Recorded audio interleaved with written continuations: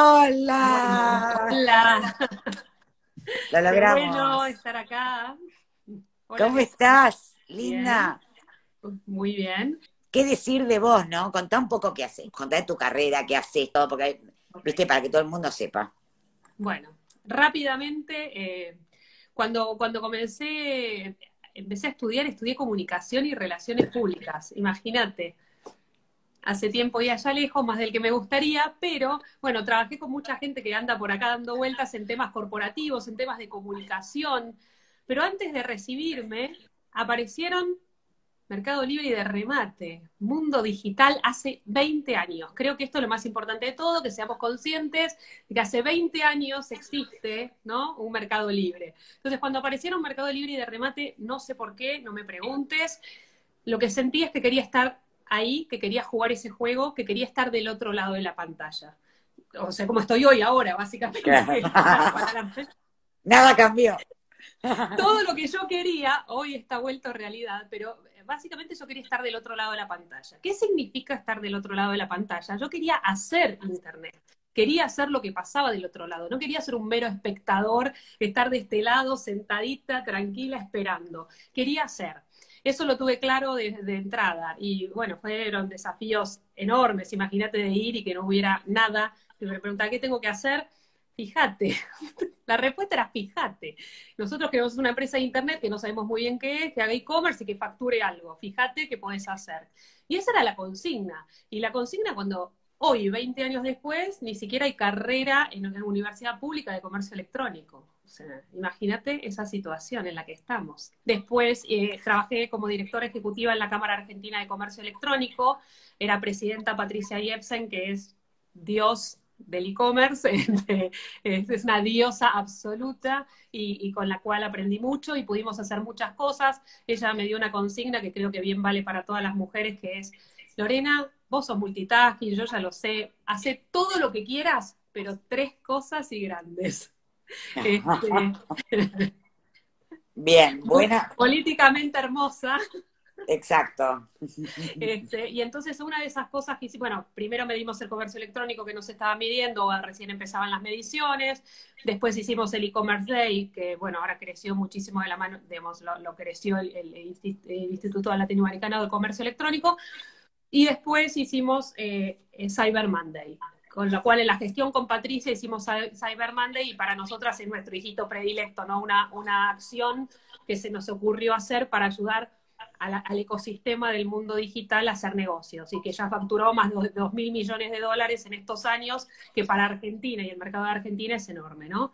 Entonces, nada, un, un, un recorrido interesante. Y desde que salí de la Cámara a esta parte, mucha consultoría, acompañar a las compañías, acompañar sobre todo, que sé que te va a gustar el punto, después lo retomamos, a pensar digital eh, y cómo es esto de pensar digital y demás. Y después, obviamente, tratar de ayudar a implementar, pero estos años fue más de, pensar y ver por dónde podíamos ir que de implementar.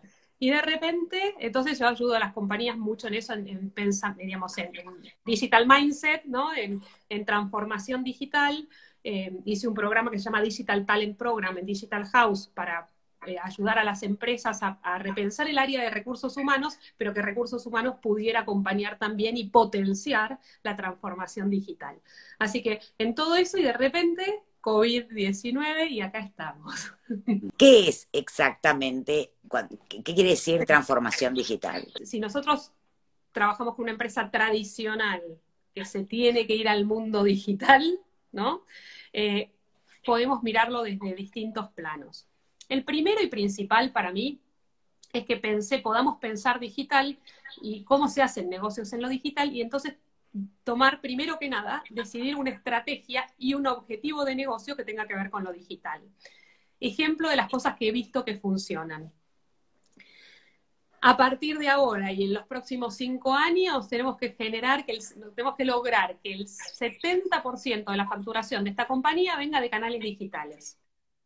Eso es pensar un objetivo, después vemos con qué estrategia lo vamos a hacer y cómo lo vamos a hacer, pero tengo un objetivo digital claro. Si yo no tengo un objetivo digital claro, es muy difícil que me mueva.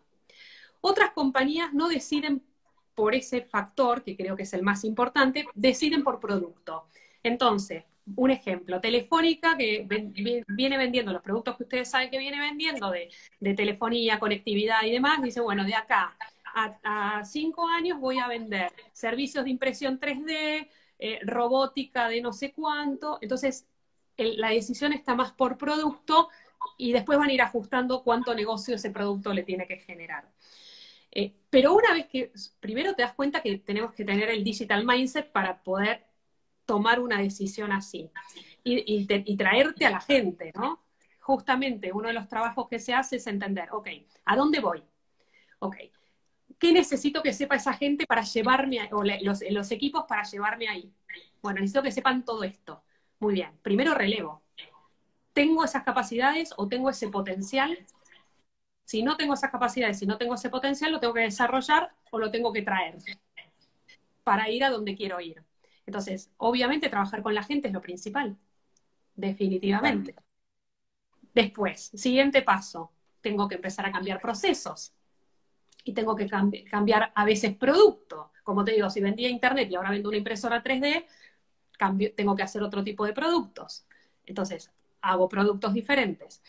Pero, ¿qué es, ¿con qué norte? ¿Cuál es lo, ¿Qué es lo que nos guía? Lo que nos guía es el consumo de los usuarios, por un lado, que quieren, que consumen, cómo lo hacen, cómo no lo hacen, porque si el usuario no quiere, por supuesto que hay muchas cosas digital que al usuario no se le ocurre, pero nosotros se lo podemos dar como solución a lo que realmente ellos tienen que resolver.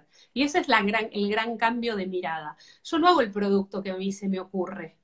Yo entiendo qué necesita ese usuario y le desarrollo un producto que le ayude a resolver su problemática actual, no su problemática, por supuesto puedo imaginar una problemática del futuro, pero es qué problemática tiene hoy y con qué producto yo se lo voy a resolver. Si le pregunto al usuario, lo más probable es que no sepa, porque como nosotros no sabemos de negocio digital o de producto digital, no te va a dar la solución. Lo que te va a decir es el problema que tiene y vos cómo se lo podés solucionar. Y lo otro que nos tiene que guiar, y hoy se los compartía justamente a la industria del caucho, es, a lo mejor el caucho nunca va a pasar a ser 100% digital como sí pasó a ser la música, ¿no? Que es muy evidente. Pero ¿qué sí necesita hacer la industria del caucho y cualquier industria? Entender que lo que nos da este mundo digital es dato, dato, dato y dato. Entonces, digitalizar procesos, digitalizar relaciones, digitalizar formas de comercializar, digitalizar la logística, es clave, absolutamente clave, para ver en tiempo real los resultados del negocio y poder tomar decisiones. Entonces, aunque me digan que es imposible digitalizar la industria X, esta parte de los datos es una obligación que tienen de hacer, porque si no lo hacen, lo va a hacer Google, ¿estamos de acuerdo? Total. La guerra de Zoom, no Zoom. No es porque Zoom funciona mejor, me habilita los datos, me los hackean, no, no sé qué. Es una guerra entre países, ¿no? Porque Zoom la creó un chino, aunque lo haya creado en Stanford o en Estados Unidos. Eh, los otros sistemas son todos americanos de Google, y, es una guerra de quién se queda con los datos, quién se queda con todas las conversaciones. Hay tecnologías que analizan las conversaciones, las pasan a texto, se analiza, y así las empresas saben perfectamente de qué hablamos, cómo hablamos, con, con qué sentimiento hablamos sobre lo que estamos hablando. Entonces, es una guerra por tener digitalizadas todas las conversaciones del planeta y obviamente las de negocios, porque Doña Rosa usa WhatsApp o usamos redes sociales para conversar. Los negocios son los que están pasando por Zoom y de vuelta, no le importa lo que dice la empresa tal en particular. Miran en el total de qué se está conversando, de qué se conversa. Y esto saca patrones y los patrones te ayudan a tomar decisiones. Entonces, no es menor. No es nada menor, además, qué herramienta elegimos para conversar. Entonces yo digo que creo que algunas compañías durmieron un poquito eh, o alguien tenía más información de por qué nosotros estábamos todos seteados en que teníamos que prender Zoom. ¿Por qué se nos ocurrió prender Zoom y no prender Hangouts? ¿Por qué? ¿Por osmosis? No. Algo habrá pasado. preparando, ¿verdad? O no, alguien lo estaba preparando, ¿no? Alguien lo estaba preparando, por supuesto me, gustó lo que hablamos el otro día, de verdaderamente esto, ¿no? O sea, escuchás hablar, digo, en los medios, escuchas vivo gente que hable que dice, bueno, la aceleración digital, ¿no? Lo que se esperaba para dentro de cinco años, se aceleró en un mes y medio. Ah. Y es así realmente, o sea, eh, cambió todo tanto en un mes y medio, más allá de usar Zoom, que lo que decías, la transformación digital no es usar Zoom, no es usar eh, Hangouts, no es usar, mm. para hablar, ¿no? No es hacer vivo de Instagram. No, claro que no. Bueno, por supuesto que hay industrias en las que pegó muchísimo más que en otras, ¿no? Para la industria de la educación claramente va a haber un impacto mayor que para otras industrias. Para que tengan una referencia, antes de coronavirus, de todo lo que vendían los supermercados, si lo hacían muy bien, el 3% se vendía online nada más, antes de coronavirus, 3%. O sea, 97% se vendía offline, ¿sí? Hasta antes de Y la gente iba al supermercado. Exacto. Pato midió ahora y lo que, les, lo que salió en el estudio que ella hizo es que el 88% de las personas le dijeron que van al supermercado.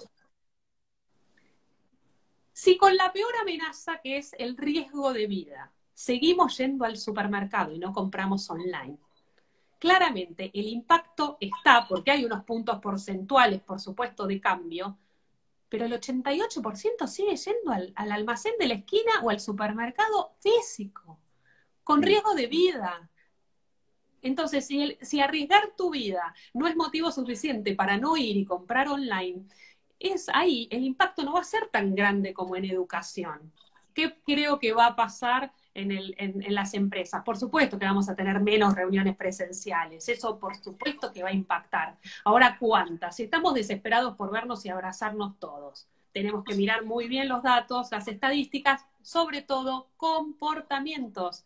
Entonces, obviamente, ¿qué pasa? Hay varias cuestiones. No es solamente que a mí no me importa salir o no salir. Cuando yo quise hacer un pedido, bueno, cuando hice un pedido de supermercado online el 26 de marzo y me dijeron fecha de entrega el 9 de abril, lo hice, la, le hice la compra igual. Pero me fui al chino a comprar porque no, podía estar con dos de 15 días sin comer. Tenés el tema de la entrega, el tema del delivery, el tema de los pagos, el tema de cómo uno está bancarizado o no está bancarizado. Entonces, cuando empezás a sumar factores que tienen que ver con lo latinoamericano, que obviamente no está en Asia, no está en Estados Unidos, y por eso ellos te pueden decir de ahora está todo digitalizado, pero tienen otra realidad. Exacto, el tema de la conectividad es un gran tema. Y, por otro lado, por ejemplo, hoy en, esta reunión se habló de cómo se hace la vuelta, digo, eh, para que, cómo le, le, facilitas a una mujer que vuelva al trabajo cuando de alguna manera tiene hijos que cuidar y tiene adultos mayores que cuidar, ¿no? Este, esta posición de, del estereotipo de, la, de la mujer cuidadora y, y, de la de carga de la tarea doméstica, digamos, ¿no? Y una de las cosas de las que se habla mucho es de la transformación del mundo del trabajo a través del home office, ¿no? O sea, que el home office, para el home office, obviamente que iguala, ¿no? O sea, si todo el mundo tiene la posibilidad. De... Ahora, hay un tema de conectividad también. Ni hablar, ¿no? obviamente. Este, por eso, una cosa es cuando vos haces home office planificado, que hay un montón de cosas. Primero, desarrollás a la gente y la capacitas y la entrenás para hacer home office como debería hacerse. El espíritu de ese home office es que la gente tenga una mejor calidad de vida, lo que vos haces es las capacitas, las entrenas y les das ciertos elementos para que puedan tener mejor calidad de vida. Esto no es teletrabajo, esto es una situación de aislamiento social obligatorio en el que un día de buenas a primeras no pudimos salir más de nuestra casa. La gente no está preparada, no tiene los elementos, y dentro de los elementos que no tiene, no tiene conectividad, obviamente. Porque una conectividad que vos tenés para tu casa no necesariamente es una conectividad para trabajar. Tengan claro que digitalizar y transformar no es prender Zoom, que acompañen mucho a la gente, que le escuchen mucho eh, y que lo hagan profesional. Y para hacerlo profesional pidan ayuda. Estamos acá para ayudarlos. Están la Cámara de Comercio Electrónico, el Instituto Latinoamericano de Comercio Electrónico, está Patricia ahí, estoy yo y está toda esa gente que linda que, de esta industria que estamos ahí para ayudar, que siempre eh, queremos que se la pasen bien y por eso hacemos todo lo que hacemos.